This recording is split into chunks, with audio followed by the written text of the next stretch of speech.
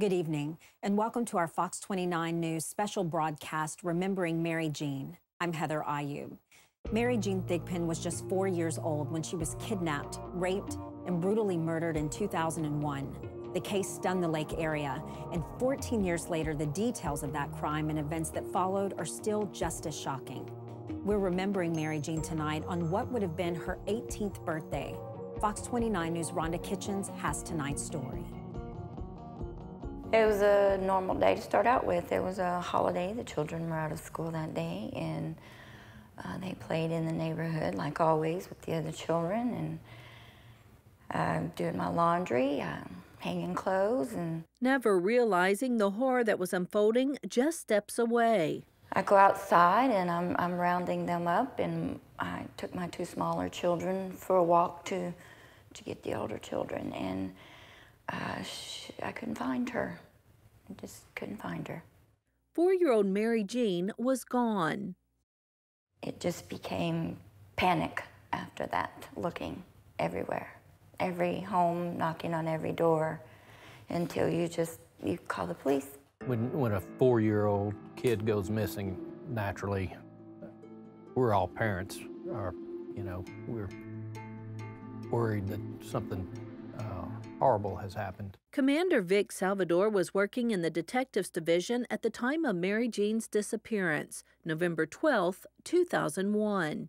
In, in any case, you start with the basics. You start asking questions uh, who saw her last and, and where was she? Obviously, we'd want to know what she was wearing and maybe get a picture of her so that we could spread that out uh, to, to other officers and, and to the public that we were looking for.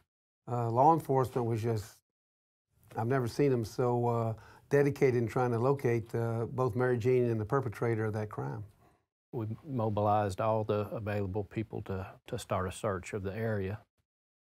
Uh, and as, as more and more information came in, we became more and more suspect that something uh, bad had happened to, to Mary Jean. And a disturbing piece of information was about to come to light. A vehicle was suspected of of having tried to contact kids at a private school in Moss Bluff. To move forward, detectives would first have to go back, back to that very afternoon, just two hours and three short miles from where Mary Jean disappeared. They knew that there was someone who had approached the school, the Holy Family School in Moss Bluff. It would catch the attention of an alert adult who would get a description of the man and his vehicle. She thought enough about it to, to report it to detectives and um, ran the license plate information, and, and that's what led us initially to Jason Reeves. When y'all heard the name, and this is somebody that had been convicted before, I can only imagine that at that point you're stressed. I mean, it just goes through the roof thinking this man could have taken this girl you know, we, we were prepared to begin looking for uh, the known sex offenders and round them up, check them out, see what was going on. When we got that information, uh, you know, he moves immediately to the top of the list. So that's where that's where we started. Jason Reeves would be taken into custody that night. Detectives would waste no time getting into an interrogation room and starting a search on his vehicle where cadaver dogs would let them know this was their man. They're not hitting on my car. They're not hitting on Mike's car. They're hitting on your car. So what does that mean? I don't know. Well, I'm gonna tell you what it means. It means that either you put her in the car or she got in the car. She wasn't in my car. Or somebody else put her in the car. I didn't see nobody else. You tell me, are you scared right now? Are you nervous? Are you concerned? Are you worried? No, I didn't do nothing.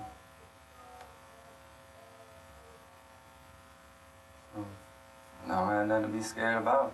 Even me telling you the dogs are hitting on your car, that don't bother you? Mm, no, I didn't do nothing.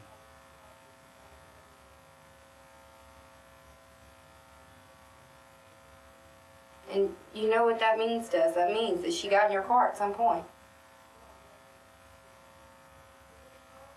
Hey, I don't know. The search for Mary Jean was far from over. This was incredible when you think about the number of people, community members, police officers, everybody. What were those days like when y'all were looking for her? Long, very, Very very long. long. Not a lot of sleep. Terror. Horrifying. Uh, you don't think of anything but trying to find her. How far, like distance wise, was this search? Mike, I couldn't give you miles. Right. Um, Yeah, it, it, it'd be difficult to, to say. Just every And- and miles. volunteers just took different parts of the parish Right. as we started talking to Jason, we developed, you know, where he was working, where he left his car, um, and um, you know, so that increases our our concern as far as far as the locations to look look at. You ever do any hunting when you were growing up? Mm, a little bit. Where'd y'all hunt at? Uh, Moss Bluff. Where? Uh, down in the Bozo Road. Where your grandpa is? And we used to live there when I was a kid. For a while. Used to go hunting there, playing in the woods. About fishing? You like fishing? Nah, I like fishing. You, are you a swimmer? You like to swim? Mm, sometimes. I, I ain't swam in a long time. They would also confront Reeves about his past crimes, including an arrest for the alleged molestation of another young girl under similar circumstances. You see where you're past though? I mean, that's the incident where five-year-olds getting picked up, getting abducted, basically. She picks you out. Now we have a four-year-old who's missing from a trailer park over here. You're riding through the trailer park same time the girl goes missing. You've been convicted of three other sex crimes involving juveniles. I ain't had nothing to do this little girl. You, you have to prepare to, to find that missing person, but you also have to consider that that that person may not be found alive. So you, you have to search with that in mind. Hopefully you recover them. Hopefully you recover them and and they're healthy. But in, you also have to consider the alternative too. Just the fact that a four-year-old girl is missing and there was a, uh, someone out there trying to capture someone, uh, everybody was upset and concerned about it. There were a lot of people that turned out on their own time, took days off from work, and were out there to help us to help us search. And we feel like we're doing nothing, and it drives you crazy because you feel like you can't do anything. You're helpless. You're just kind of lost. You're just lost. You're lost until they're found. What is your feeling like as the sun's going down and this little girl's still missing? I think just the the realization that this could end very badly. This could have a tragic ending. And then it ultimately did. It took two days to make the discovery everyone prayed would never come. Weakness. You're weak. You can't think. You can't. You can't imagine. It's the unimaginable.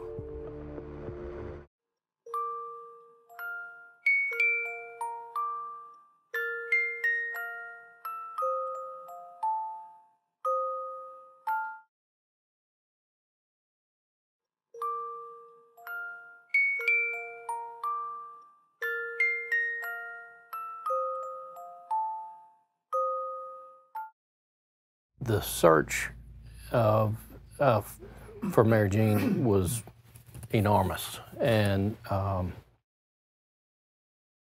there were some officers that uh, were at LeBleu Cemetery and were uh, walking around in the woods there and walked up, up upon her, and that's that's how she was discovered uh, by somebody just willing to to crawl through the through bushes and stickers and whatever and and walked up upon her. Um, then we were notified shortly uh, thereafter, and Even for people in law enforcement, that had to be just an unimaginable thing to do. I think everybody probably gets through it in their own uh, own way. um, it's pretty it's pretty tough looking at a, a child that has been murdered. Mary Jean's body was found inside this cemetery. She had been beaten, raped, and stabbed multiple times. When the sheriff herself comes out to tell you, you know, and uh, you just don't want to hear it. You don't. You don't want to hear it. You don't want to believe it.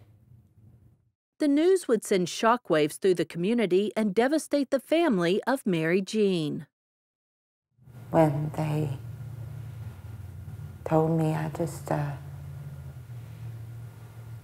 took off running in the woods.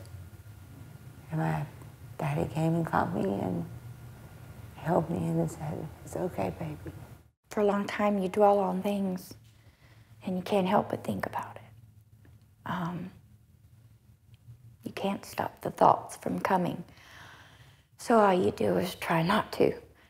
And eventually, over years, some things do fade and, and the, the main things don't. Leaving Karen struggling with the thoughts of the terror her daughter must have felt. If I hadn't have felt the pain,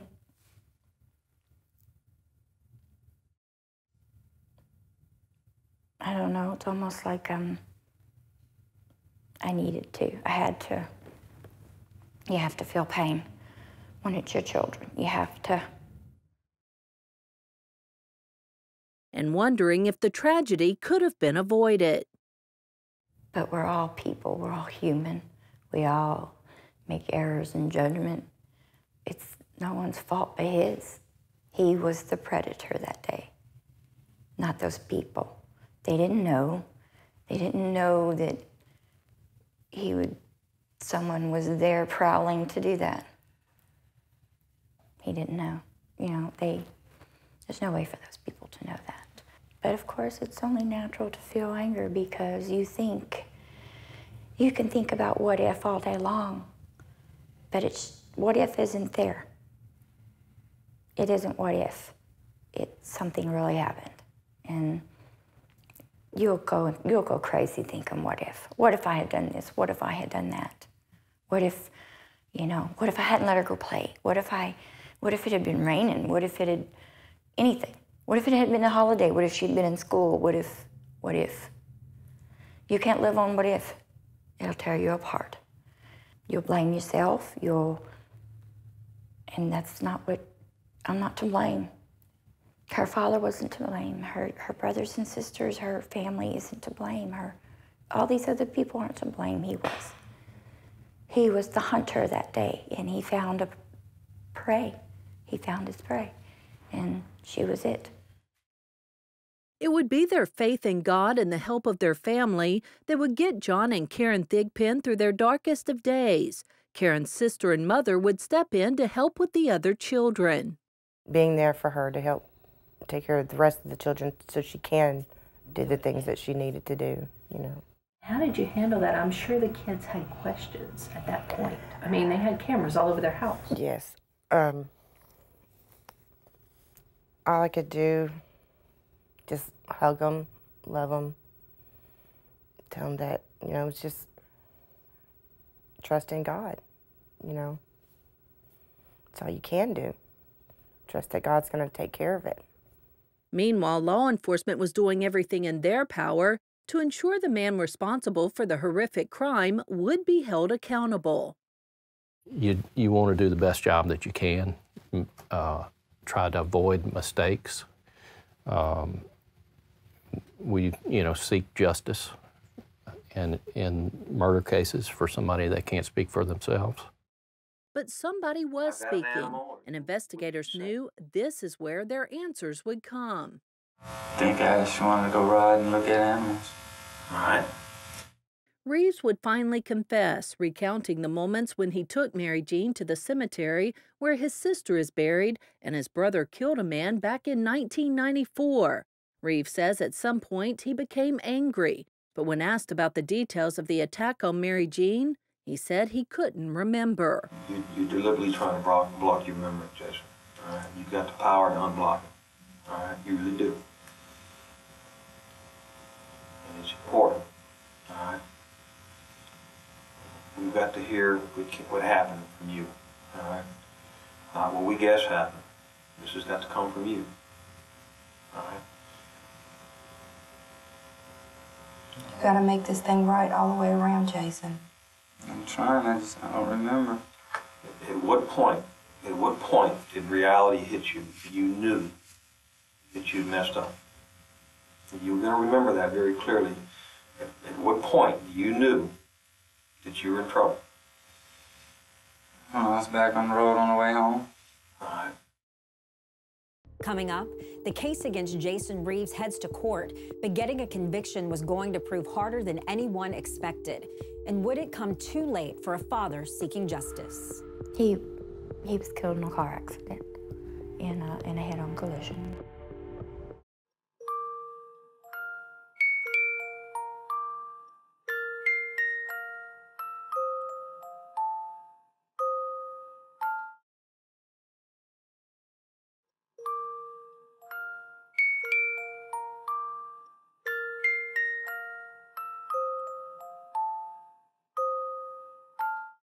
I'm blessed in a way because while a lot of people read about it and see these things, I get to do something about it. Rick Bryant was the district attorney in Calcasieu Parish at the time, and he would be the one to prosecute the case against Jason Reeves.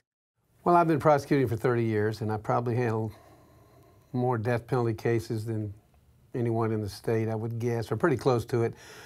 And they're all are brutal, but this was by far the most brutal and the most riveting and emotional case I've been involved with. That one, what happened to Mary Jean shouldn't happen to anyone.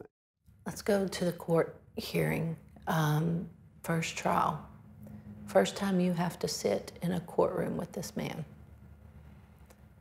What was going through your head? How did you and your husband deal with that? Silently. Um, you really don't have a lot to you don't feel like talking a lot or, um, yeah, it's just, it's, how do you sit in the courtroom and not jump across the room to strangle him? You know, how do you refrain yourself? How do you keep yourself in control? And I think I was more worried about, about, about John than myself. He's a man, he's a father. Um, all fathers want to protect their babies. They, they want to kill the thing that hurt them. That's just how you feel. And that's just how he felt. He felt, as a, as a parent, I'm speak for myself, but I know he felt a lot of the same way. You feel, it's your child, you feel responsible.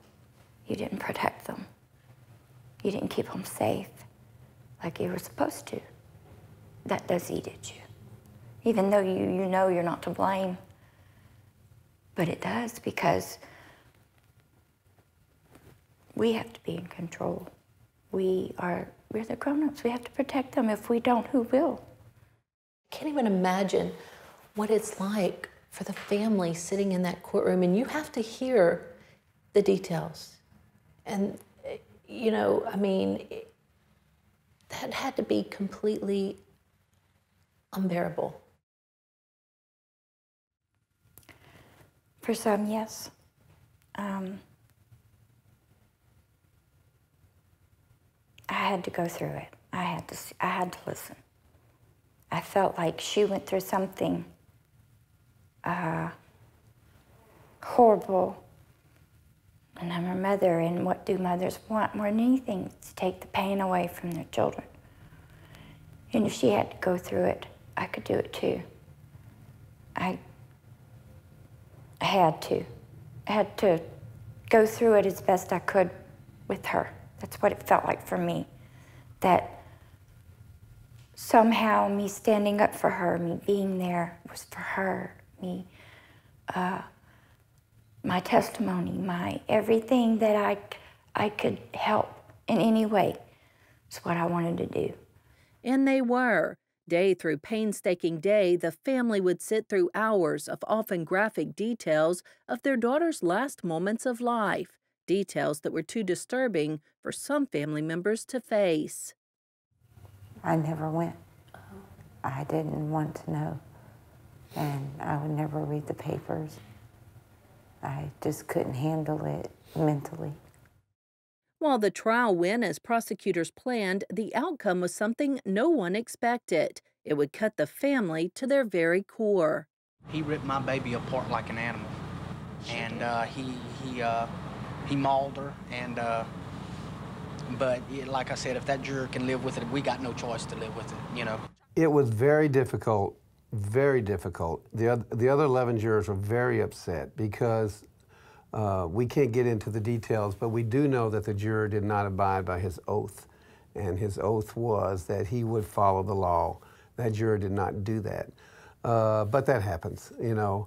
And our next jury, uh, we went back as quickly as we could, and we got exactly what we wanted. We got a quick conviction, and we got an even quicker sentence uh, for death in that particular case. But the justice would come too late for Mary Jean's father to witness. John Thigpen was killed in a head on collision just three years after the loss of Mary Jean. He was hit by another driver who was impaired. And um, so the first trial came and it was, it was a very hard trial. Uh, it, it was the first trial, and, and of course, the first time going through everything. Uh, he was there, it was tough. And of course, it ended in a hung jury. But um, by the second trial, he was no longer with us. And uh, I believe it made things a little tougher to handle, tougher to take, to go through. Uh, it was only three years after we lost Mary. And very, very difficult time. It's, uh, it's hard it's hard to keep talking about it. You just, uh, you lose so much. It's just, it's just hard. Very, very hard. Things changed after that. My brother died. It crushed my dad. It was his only son. My dad died. Everything fell apart. Even before your brother died, it had to be unbearable to watch him go through. Oh, it was. He was in. I put it like this to my mom. He's there, but the light has gone out of his eyes. There was no. He loved his babies and his wife there was just no joy left. He would, you know, smile like, hey, not my brother. Not the one I knew. Karen knew it was now up to her to follow through, both for Mary Jean and John. I guess that's what that and, and God all the way kept me going uh, he alone it kept me going. But to fight for her was the least I could do. I remember your um, victim impact statement after the second trial. Mm-hmm.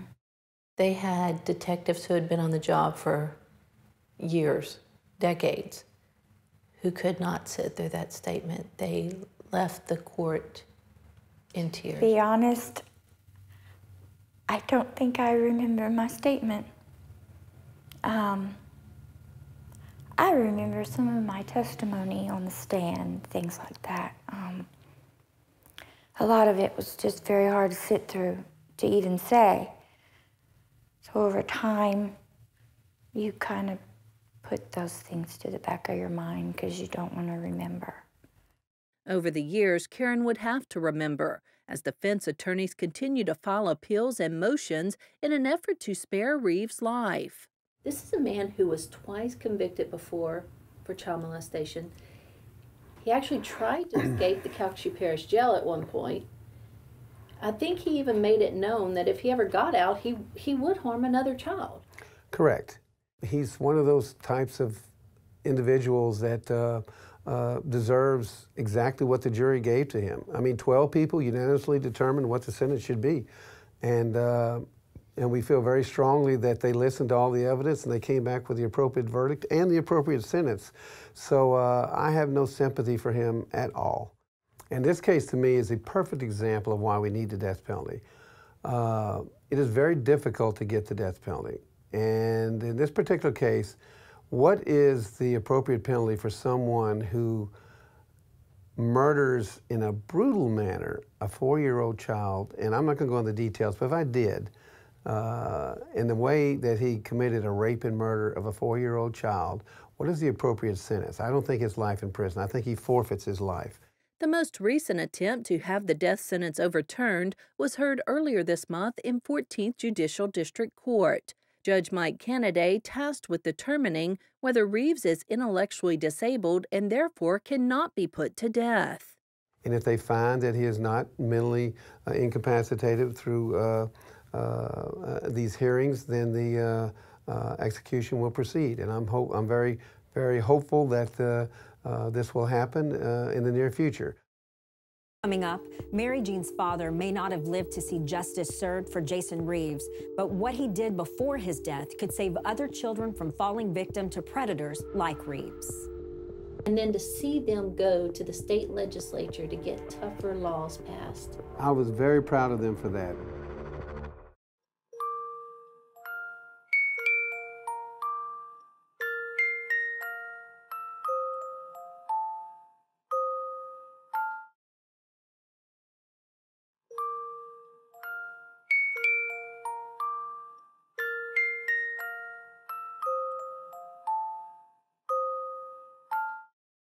Welcome back to our Fox 29 News special, Remembering Mary Jean.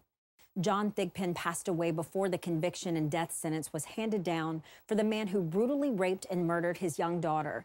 But as Rhonda Kitchen shows us, he did something that will protect children across Louisiana from repeat child predators like Jason Reeves. Remembering Mary Jean continues. Unless you've ever lost a child, uh, I can't begin to relay the pain and grief that comes from that, uh, especially when you feel it could have been prevented, that, uh, that other people have prevented it in other states, and that we can prevent it here. That was video of John Thigpen testifying before the Louisiana legislature to get stiffer penalties for sex offenders. The legislature is jaded in many ways. Uh, they hear from defense attorneys, and they hear from prosecutors, and they hear from judges, and they hear from legislators. But to have real people who have suffered to sit before them. They can't be jaded by listening to those folks. Had the new laws been in effect in 2001, Jason Reeves would have still been behind bars. My baby never had a chance to grow up and do all the things that little girls do that was taken from her. But today you you have an opportunity to save other people from this grief and pain. You can stop it. And I was very proud of them to have that strength and I think it helped them heal in a lot of ways to go to the legislature and to fight for the legislation that they did. And the legislature did listen to what they had to say. So I was very proud of them. Uh, I hear they use it in court a lot today. Yeah. So um, I haven't had the privilege of sitting through anything or, or, or personally witnessing it, but uh, I, I have heard that they do. Wonderful. And uh, that, that's pleasing to note that uh, somehow something something good is coming coming out of it. That was just step one in the process Karen has gone through over the past 14 years, refusing to let the man who stole her daughter's life claim hers or the lives of her other children. I, I could sit here and tell you how much I hate him, but it just. Why? Why go on and on about him? I don't want to think about him. I don't want to know what he's doing. I don't want to know uh, if he's eating or, or nothing. I don't. Um, I'm not going to waste my time, my life on him. Uh, that just stirs up anger, hurt, resentment. It stirs up things you don't want in your home because you're trying to be at peace. You're trying to find what happiness you got left. And dwelling on him, it won't happen. I have beautiful, beautiful children in my life. I have beautiful people in my life. I have family that loves me. I have a large family, very large. We just love each other and, and do the best we can. I want to, uh, I want my children to grow up happy, healthy, with some sense of normalcy. He can't hurt no one else. That's, that's, that's the important thing. That's all I care about, is that he can't hurt no other baby, no other person. He can't ruin no one's life no more, other than his own. You know, people say, well, he's in prison for life, so he can't hurt anybody else. But if this man had a chance, he would absolutely take that chance. He's done it, yeah. That was at the Calcasieu Correctional Center, and mistakes were found with the previous administration's protocol in supervising Jason Reeves. The convicted child killer, sentenced to death, was allowed out in a hall to watch movies and eat popcorn with other inmates, some of which he would join on a run for freedom, making it to the top of the fence before being captured. Commander Vic Salvador is the warden of the CCC under the current administration, and he says any time Reeves returns to Calcasieu Parish, he's met with much stricter guidelines. When he comes when he comes back, the staff is notified and reminded of the previous attempt, um, and he is handled uh, accordingly. So if he's transported, he's shackles, belly chains, cuffs. Uh, we, you know, take extra precaution to make sure that uh, he doesn't have that opportunity again. And what about Angola? It's miles and miles of land scattered with guard towers and heavy security.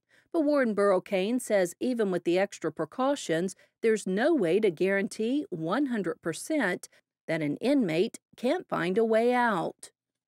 We hope it's true, but you know, when you really look at it, we've had, uh, actually, I've had four escape at one time from us in 99, but we now have a new cell block that's a lot more, you know, it's a lot more modern.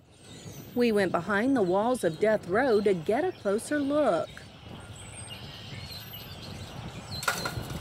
You saw the fence shakers and so forth, and there's gun guards outside. So I would hope not, but still he's alive. What is life like for him? Well, he gets up in the morning if he wants it then he have breakfast, then we feed him lunch at some time. Then he's going to have a, the evening meal, and then during the day he's going to get an hour out on a tier to walk up and down for exercise, and he has to take a shower, 15 minute shower. We're going to allow that, and then he has to do it, the shower. We want him to be clean. And then four days a week, he comes out the door and goes around here and goes out to the exercise yard where it's a cage. You could hold a tiger in that cage and, there, and he stayed in the, in the cage for an hour at the sunshine, and then he comes back in, and that's his life.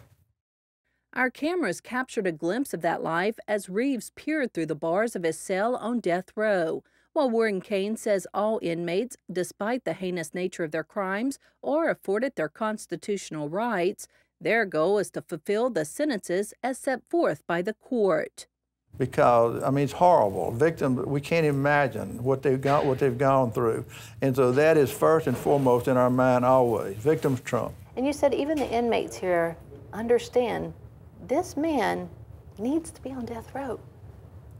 They do. The the culture of this prison has changed to the point that they're they're trying to live their lives. Most of them that's not in here, you know, to do the right thing, but they realize this is his charge, this is his sentence. That's it. So when we have this execution, if we ever do, we won't lock this prison down. It'll be just normal day. We'll do it in the evening from, from uh, 6 to 9 p.m. And Karen was saying that she had to let go of some of the anger and had to stop worrying about what happened to Jason. But I can tell you still carry that anger. No, yeah. I can't wait till he gets a needle in his arm. I'll be there to watch. So, will that day ever come? While the Calcasieu DA's office vows to fight any motion the defense may file, Warden Cain is working with the state legislature to resolve ongoing issues with executions. Well, what happened? We got caught up in the in the uh, way we execute people, the drug protocol, and so forth, and was unable to get the drugs. And so, what we're doing is we're we're going to present back to the legislature this spring some different ways and different things to do. And so, I think that if they're accepted and so forth, that we might see the process speed up. Karen says when the day finally comes, she will be there, as always, standing strong for Mary. But for now, you go on, life goes on. I have other children and they need me. And I think of them every day when I get out of bed, um, when, uh, when I don't feel like smiling. They make me laugh.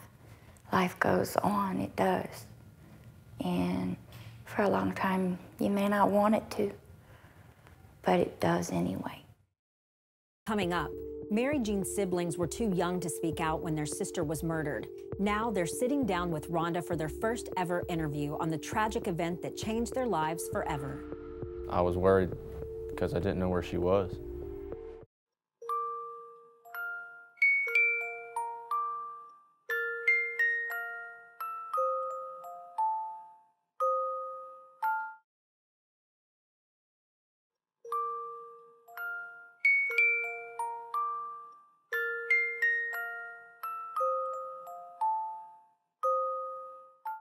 Do you remember what your last memory was with Mary Jean? Uh, actually, earlier that morning, uh, she was out. We walked out together of the of the house that we were in. Uh, she had got in on the tire swing that we had in our front yard, hanging off the tree, and I, I had been pushing her for a little while. You know, we were laughing and playing. But that would be the last time John Thigpen would hear his sisters laugh. I was at my friend's house at the time, and we were just hanging out.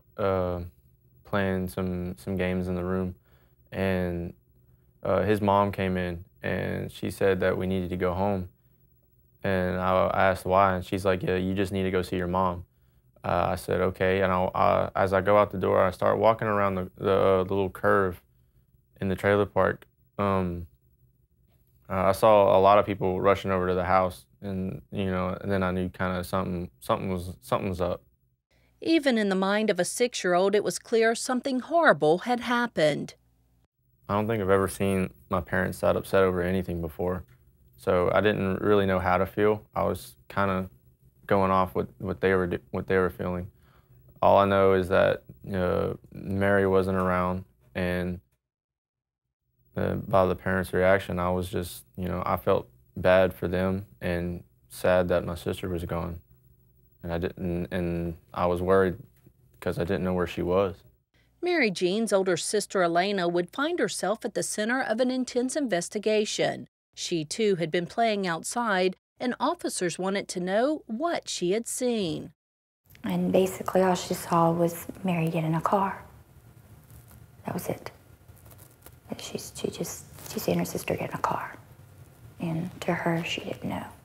In fact, the devastated parents were with Elena, who was being questioned, when they received the news Mary Jean's body had been found. I wasn't exactly conscious of that at the time, but I, I did know that it was it was going to be different from now on. Um, there was certainly a lot of silence. Uh, I mean, other than mom and dad talking about it, um, it, it was kind of quiet around the house, especially since uh, about after it happened, we, we moved soon after. So there was, I guess we kind of had that to keep us busy. But uh, everybody was always thinking about it. You can tell every every blank moment there was somebody staring off into space, thinking, "What if?" John says everything from their address to their daily routine would change. They they were both certainly a lot more protective after that. Uh, new new curfew rules, be back a little bit earlier. Always they always know where you were going. Uh, you know, if anything happened, to let them know. Uh, nothing was to be hidden from them. They were always, you know, they were very protective. Dad, he was some he was angry a lot, but sometimes he just he'd start crying, and he'd just go in his room because he didn't want to. Guys don't like to be seen crying. Uh, but there was most there was a lot of sadness really though other than other than that It looked like things were finally turning around for the family as John and Karen began fighting for stricter laws. They always seemed like they had a purpose after that, you know, something to achieve by what, what they were trying to accomplish in the state legislature. Then would come the death of their father. It's certainly really hard to, to deal with all this without a father. And I felt a responsibility on myself to try to, to try to do things, to try to help out in any way I could. You know, I, I feel like it's what, it's what Dad would want. And what he would want more than anything is to keep the memory of Mary Jean alive. I'll get like images in my head from when I sleep. I'll like get like an image in my head from when it happened and everything like that. But for Caleb, just a baby at the time of the murder, those images and photos of the family he once had are all he knows of his sister. I don't know what to feel about it. Do you feel like you were robbed? I've seen pictures that we've taken together, but I don't really remember anything about her or being with her. So over the years, did y'all get questions from friends or, or you know, anything like that? Mm. Some of my friends knew that I had another sister, but they didn't. They didn't know anything about her. They've asked me about you know all the stories and stuff. They've asked me what happened to her, and sometimes sometimes I could tell them, and sometimes I couldn't. But they asked me what she looked like.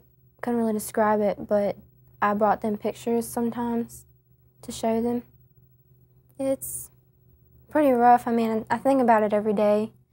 What it'd be like if she was here, what she'd look like. Because, I mean, I don't remember what she looked like then. And I don't know, sometimes I'll get up, I'll cry over it, get upset. At the time, they didn't really know what was going on. Uh, but once it hit them, you know, I was I tried to be there as much as I could. All I could think of really is, you know, when I looked at them, all I could do was just be there for them. And, you know, if they wanted to talk, I was always ready to talk to them because I was, I guess you could say, the oldest one who could really talk about it at the time. Alina didn't really like to talk about it that often. She got nightmares at times, and we, we, we woke up sometimes and talked about it, or I would have nightmares about certain things, and we'd sit up and talk about it sharing the memories they would cherish. She never really liked to, to be by herself. She was always trying to talk to somebody or, or play around with somebody, always trying to get interact with people. The way that she danced and sang around the house all the time, no matter who was around, she didn't care what she sounded like. Um, she, and she was always, you know, she could always cheer up anybody. She was that type of person. She was very charismatic you know, even at a young age. Mary, uh, she liked to dress up. Uh, she had a she had a little purple outfit. Uh, I think we still have the picture of it. She had a little purple outfit with a little purse that she used to, with her little gloves, and she used to be this, you know, act like one of them old time actresses, like kind of like Marilyn Monroe almost, and you know, and be, try to be glamorous, and you know, that was always fun, and that's what I think most people are going to remember about her who knew her, is that, she was such. Uh, I guess you could say an inspiring little little person for how old she was. You know, she's certainly on my mind every day. You know, I, I wish, you know, we would have grown up doing what most sisters do. Um, you know, going out together with our friends, going shopping, out to eat, you know spending my sweet 16 with her. First time I became a teenager.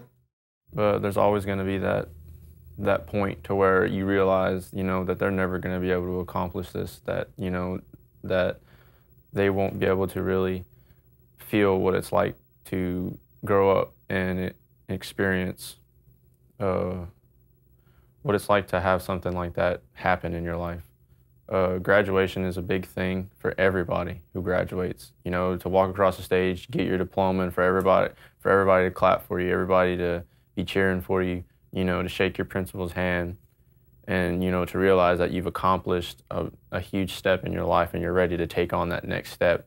Uh, college if you if you choose to do so, uh, a job possibly, moving out of the house, things like that. That all starts to hit you as you when, like as soon as you step foot across the stage, that's all you think about is your future and wh- where you go from here. And for her not to be able to experience that, it it takes away a lot of it. It just you know it's not enough. Sometimes his mind wandering to that day 14 years ago. What could she have been doing at the time, you know, and just how it how it all went down and things like that. There's a lot of there's a lot of things that go through your mind. That that part is kind of inevitable. It it happens, but I try not to. I try to remember her as how she was and not for what happened. Because it's you know it it's nothing short of a tragedy. It's a tragedy that John often relives as he passes the trailer park on his way to school. His major is criminal justice. His driving force, a four year old with brown eyes and a bright smile. Once dad passed, I knew that I, I felt like I had to continue where he left off and, and try to do something about everything that was happening. I thought, you know, law enforcement, it's, it's got a lot of the same dis- discipline in the, in the practice. And uh, I thought that uh, it would it would also help me feel like I played some role in preventing anything like this from happening to anybody else. It, it just made it did make me feel better about it. Coming up, Mary Jean lives in the minds of the community as a four-year-old girl, but tonight she would have turned 18.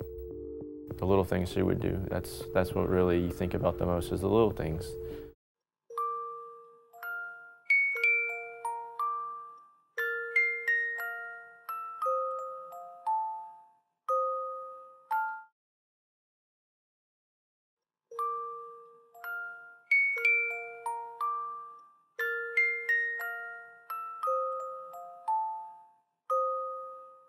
Mary Jane would be 18 this year. Do you ever th- think about, you know, her as a teenager? All Do you the time.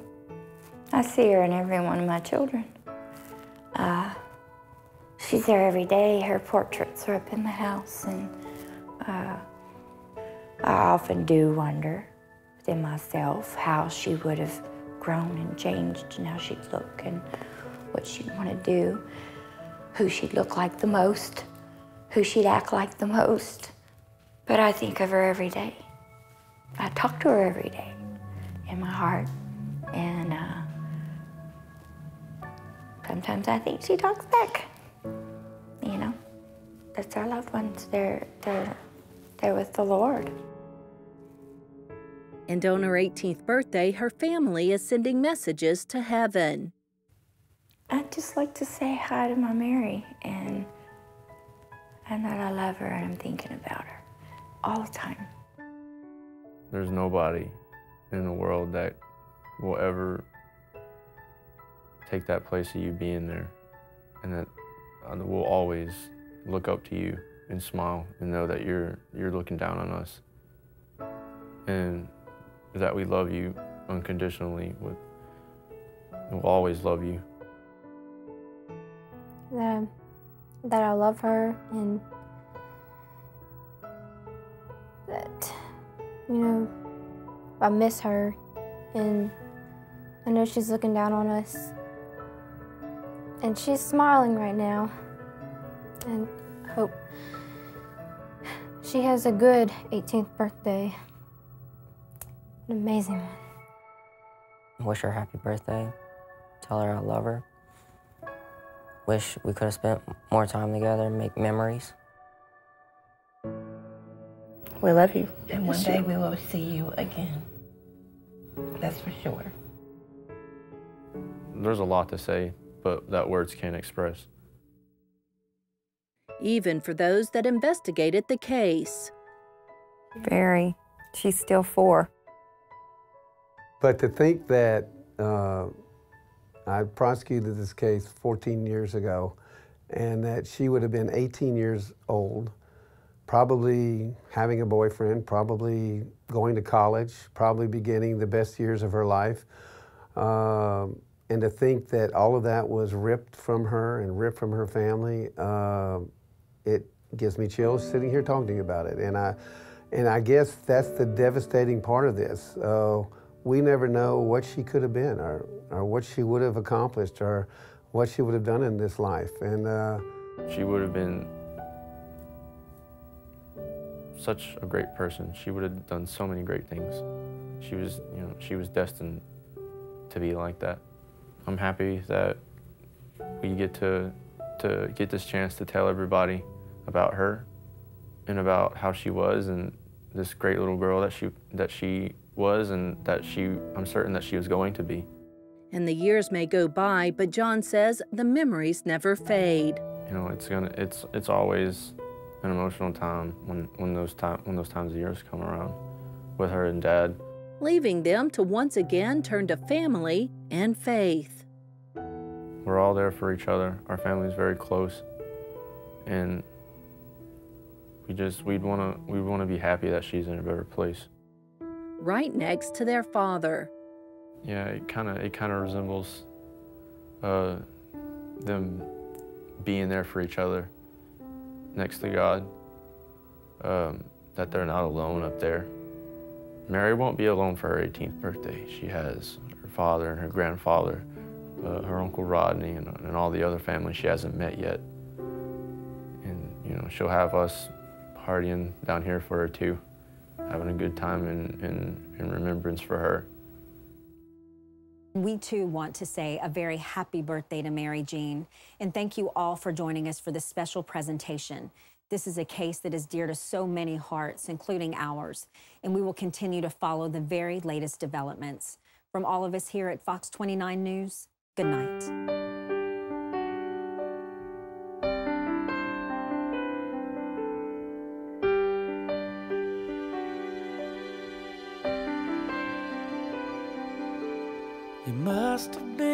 A place so dark you couldn't feel the light reaching for you through that stormy cloud. Now here we are gathered in our little hometown. This can't be the way you meant to draw a crowd. Oh, I, that's what I asking. Was there anything I could have said or done? Oh, I had no clue you were masking a troubled soul. God only knows what went wrong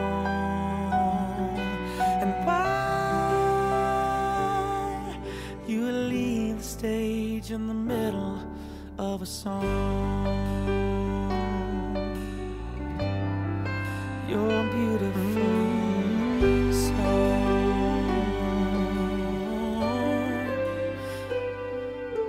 You're absolutely